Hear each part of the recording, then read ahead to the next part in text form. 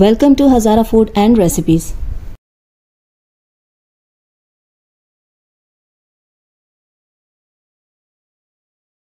अस्सलाम वालेकुम नाजरीन। आज हम बना रहे हैं चिकन कढ़ाही रेस्टोरेंट स्टाइल उसके लिए हमें जिन शाह की ज़रूरत है, वो ये हैं वन के जी चिकन पाँच से छः अदर टमाटर, हरी मिर्चें सात से आठ, और अदरक लहसुन two and half tablespoon और मसाला में हमें सूखा धनिया ज़ीरा डेढ़ स्पून दो tablespoon kadai masala one tablespoon chili flakes and chili powder one tablespoon और नमक हंस पे ज़रूरत। ठीक है, अब हम कुकिंग की तैयारी करते हैं।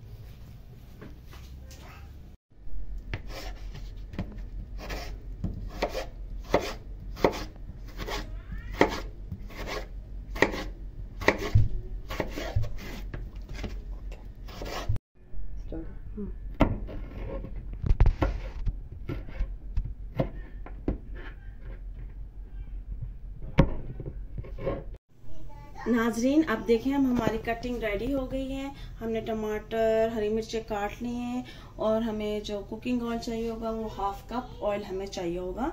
तो अब हम आ, कुकिंग स्टार्ट करते हैं। नाजरीन आप देख सकते हैं कि हमारी हांडी गर्म हो गई है। हम बिना ऑयल के चिकन ऐड करेंगे और इसका पानी खुश्क होने तक हम इसे पकाएँगे। अच्छे से हम इसे फ्राई करके पकाएँगे। इसका पानी खुश्क होने तक।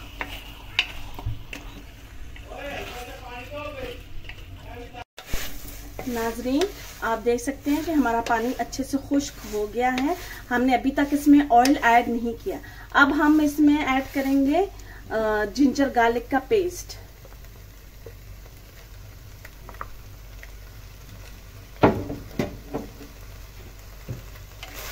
ये देख सकते हैं, हमने जिंजर गार्लिक का पेस्ट ऐड कर लिया। इसे भी हम चार से पाँच मिनट फ्राई करेंगे। फिर हम आपको इसके बाद का प्रोसेस बताते हैं। नाजरीन, ये देख सकते हैं, हमारा अदरक लहसुन डाल के चिकन अच्छे से फ्राई हो गया है। अब हम इसमें टमाटर और ग्रीन चिलीज ऐड करेंगे। ठीक है, जो ये ऐड करने के बाद हम इसे तकरीबन मैक्सिमम 12 से 15 मिनट के अंदाजे से हम इसे कुक करेंगे कि हमारे टमाटर भी अच्छे से गल जाएँ और हमारा चिकन भी अच्छे से इसमें गल जाए, फ्राई हो जाए। फिर हम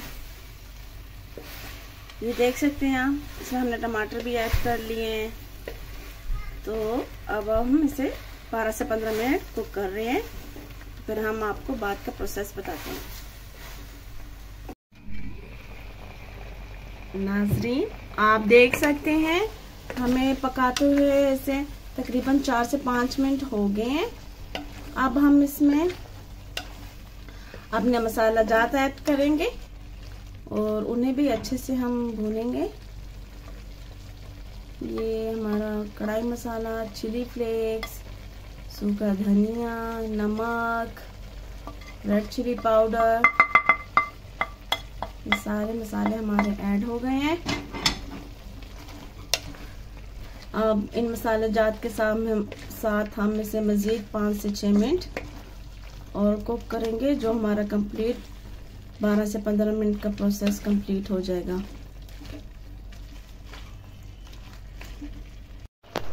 नाजरीन, आप देख सकते हैं कि हमें चिकन को पकाते हुए चार से पाँच मिनट मज़ीद और गुजर चुके हैं।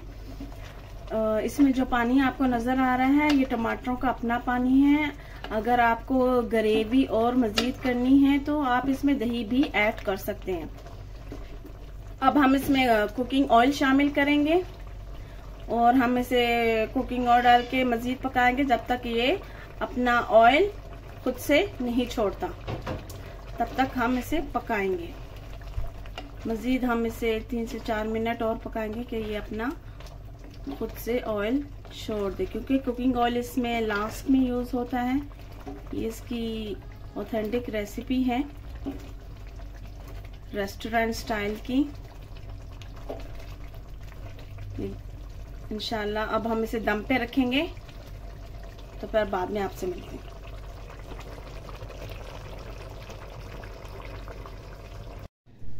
नाजरीन, आप देख सकते हैं कि हमारी चिकन कढ़ाई रेसिपी रेस्टोरेंट स्टाइल तैयार हो गई है। आप भी ज़रूर ट्राई कीजिएगा, बहुत इजी रेसिपी है। और हमें कमेंट्स में ज़रूर बताइएगा।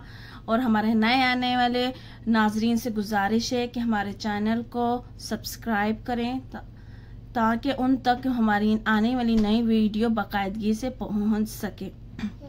और आप हमारे वीडियो को लाइक शेयर एंड सब्सक्राइब करें। इनशाला नेक्स्ट वीडियो में मुलाकात होती है। शुक्रिया, अल्लाह हाफिज़।